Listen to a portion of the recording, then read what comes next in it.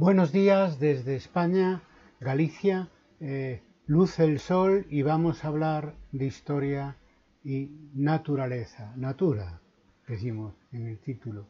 de este episodio número 36. Debemos a la conciencia ecológica actual ver claro sobre el papel de la naturaleza en la historia humana. En realidad es un cambio de paradigma que nosotros hemos anticipado hace 20 años en aquella conferencia que, de la que hemos hablado eh, múltiples veces eh, en esta serie de vídeos sobre el nuevo concepto de la historia de la ciencia. Eh, podéis ver esto a modo de resumen en el episodio número uno de esta serie de vídeos breves. Eh, Mark Bloch en su introducción a la historia dice que el historiador hace la historia del pasado, pero no del pasado en general, sino del pasado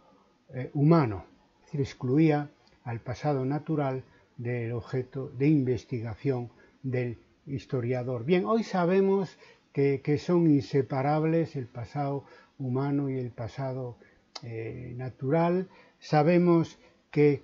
interactúan entre, entre, entre sí y que, además esa interacción entre historia humana e historia natural es capital para los objetivos que nos estamos planteando en la historiografía del siglo XXI, que es hacer una historia global en el sentido de total, como se decía antes, eh, para lo cual remito al episodio 23 eh, sobre historia eh, mixta o bien para actualizar la, interdisciplinariedad de nuestra disciplina, temas que hemos tratado en el episodio número 29. La, historia mm, humana natural eh, no es lineal, tampoco el progreso, hay avances y hay retrocesos. Y, aquí nos interesa hacer notar los retrocesos por el maltrato que en general la humanidad ha dado a la historia, eh, en fin, eh, desde que la historia ha sido considerada como, como, tal. Me refiero,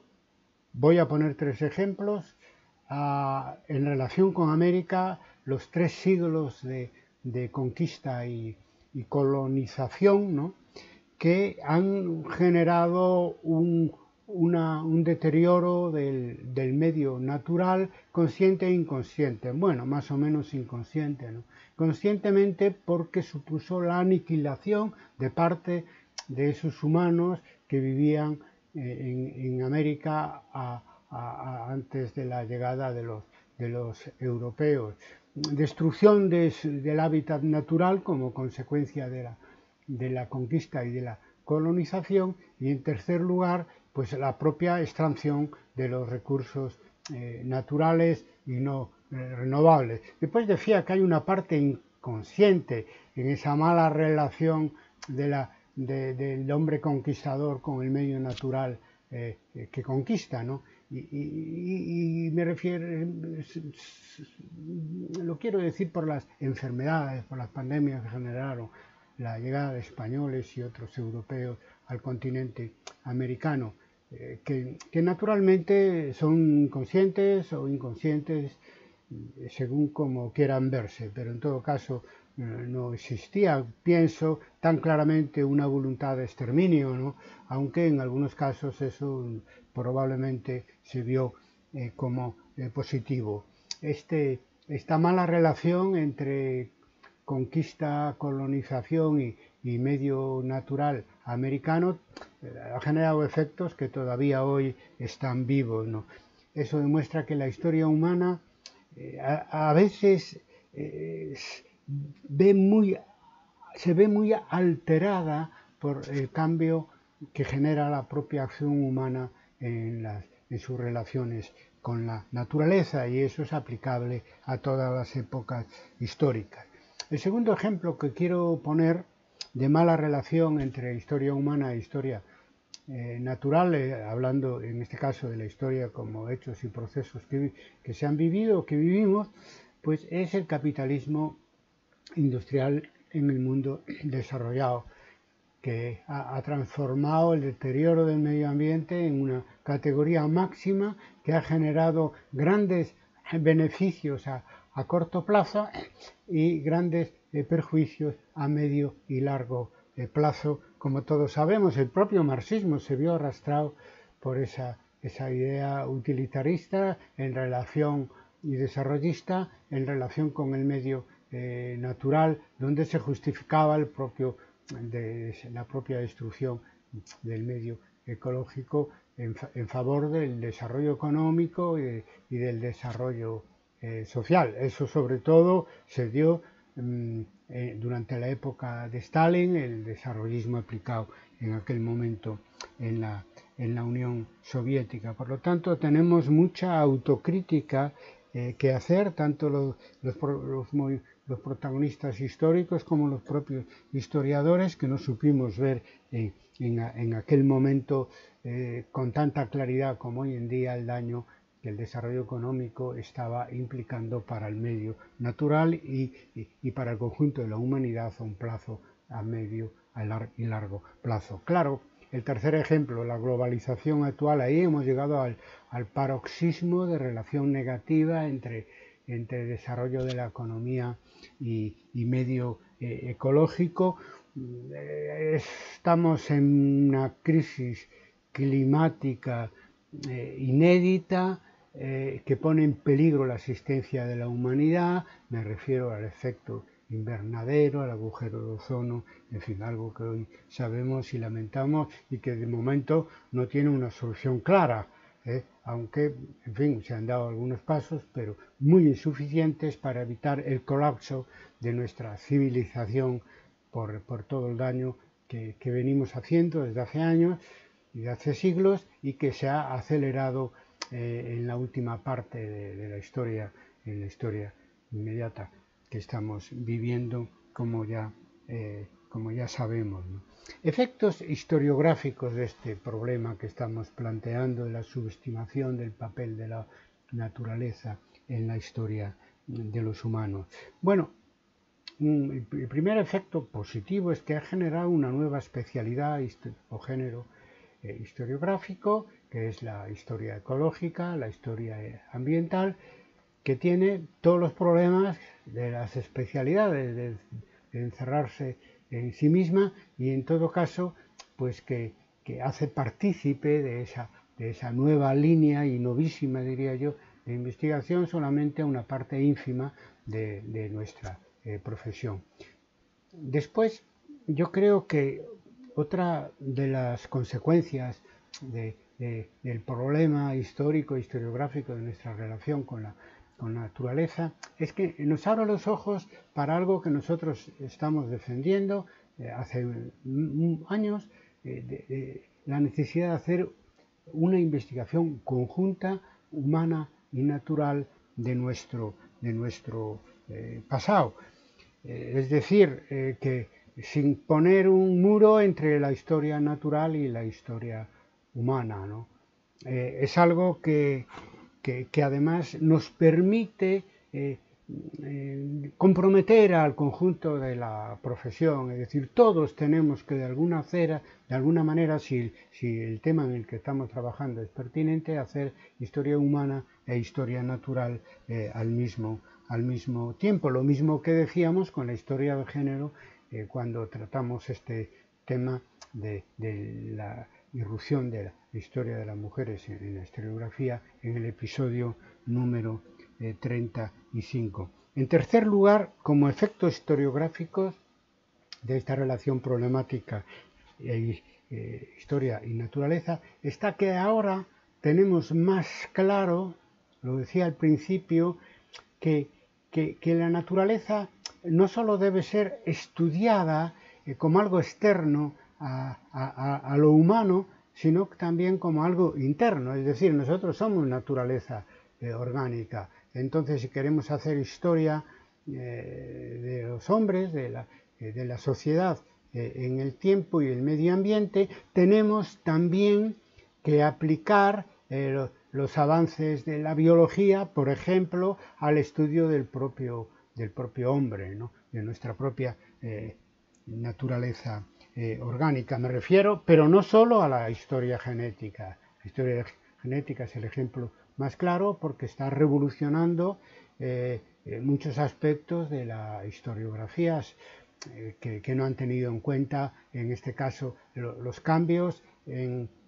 la, en, la, propia naturaleza humana a lo largo eh, de la historia. Tampoco existía antes los medios técnicos y científicos suficientes para el estudio de lo que hoy sabemos, el ADN eh, y todo eso. Entonces, el dilema que tiene la historia genética es una de dos, como todas las especialidades, sobre todo las nuevas, con una de dos, o transformarse en, una especialidad ajena al resto de la historia, que es por donde va la mayoría de los biólogos que se están, están tratando de hacer historia, historia genética, o bien,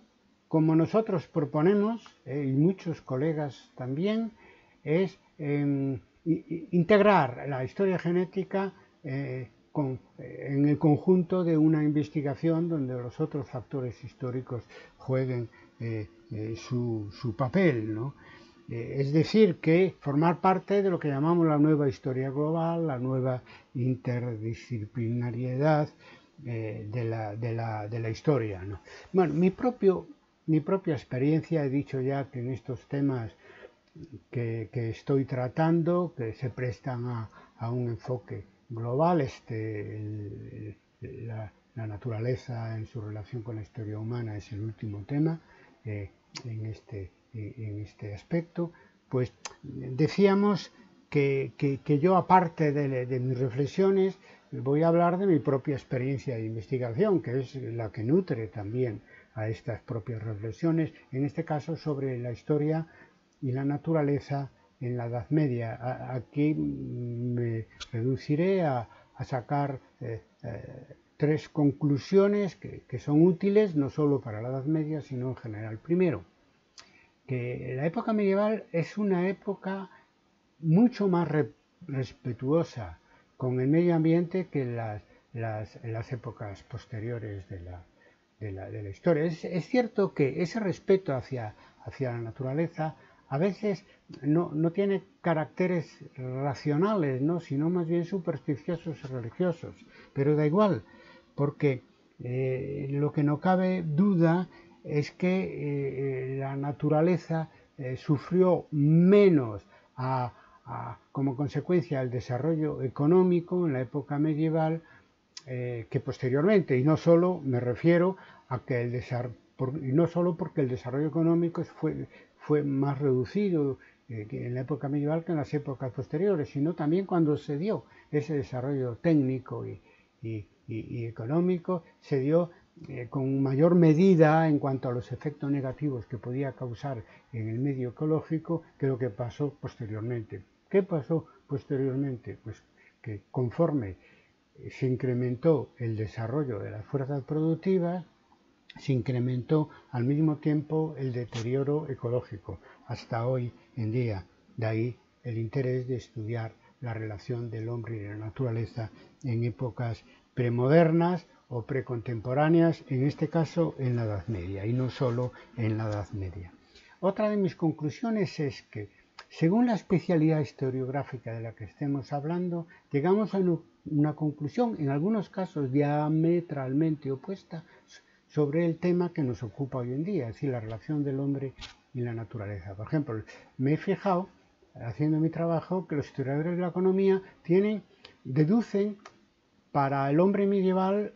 una actitud positiva hacia la naturaleza. Es el hombre rotulador que domina el medio natural en beneficio de la humanidad sin causar pues, grandes daños, lo cual además es cierto. Y después el historiador de las mentalidades llega a una conclusión muy diferente, yo diría incluso contraria, a una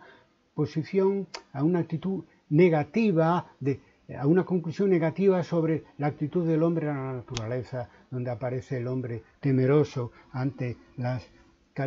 calamidades eh, de la naturaleza, eh, muchas veces interpretadas como obra eh, de Dios o, del propio mm, diablo. Obviamente se impone, y no solo para el periodo medieval, una historia mixta, donde se haga a la vez historia de las mentalidades y historia ecológica para entender en su propia complejidad eh, eh, la relación del hombre y la naturaleza en ese periodo histórico. Yo mismo, yo diría lo mismo para periodos posteriores. En fin, y la tercera y última conclusión es que para hacer una historia global es necesario mezclar la historia humana con la historia eh, natural de una manera dialéctica, es decir, historia dialéctica, jugando con dos ideas a la vez, porque, porque no cabe duda que, la relación entre hombre y naturaleza, incluso en la propia, en, una misma época histórica, no digamos en épocas históricas diferentes, depende mucho del momento, del lugar y del punto eh, de vista. Ahí queda mucho camino por andar y mucha historia por revisitar. Lo decíamos respecto a la óptica de género y hoy lo decimos respecto de la óptica ecológica. Nada más para saber sobre el tema, más yo aconsejaría un texto y un vídeo. El texto es la humanización mm, eh, de, de la naturaleza en la Edad Media, que en su origen fue una conferencia en Austria en el año 1998, y después eh, como, como vídeo uno que ha aparecido como recomendación en, episodios anteriores que, y del que hemos hablado hoy aquí ya, que es el nuevo concepto de la historia como ciencia, cuya primera versión la dicté en un seminario en la Universidad de Las Palmas de Gran Canaria en el año 2002. Nada más, el próximo episodio será sobre la fragmentación de la historia y este eh, será el episodio 37, inicia el último bloque temático de esta serie de vídeos de metodología, historiografía y teoría de la historia, que son los, una serie de episodios mm, eh, que van a hablar de los problemas, las preguntas y, los debates eh, para aplicar a, adaptar al siglo XXI el oficio de, historiador. Obviamente me refiero a problemas, propuestas y debates que no han sido mencionados o por lo menos no, no, no han sido mencionados de forma demográfica eh, en todos los episodios anteriores. Por lo tanto, hasta, hasta la próxima semana anterior no pude dar el, el, vídeo de esta serie que me correspondía, que es este de hoy, porque tuve un compromiso, una conferencia eh, sobre el futuro de la historia con la Universidad de San Agustín de Arequipa de Perú. Pero bueno, de todas maneras, mi previsión es, hacerlo semanalmente. La próxima semana, en principio, hablaremos de la fragmentación de la historia. Me despido, seguimos estando en tiempo de pandemia, de pandemia con este lema, vacunas para todo el mundo ya. Muchas gracias.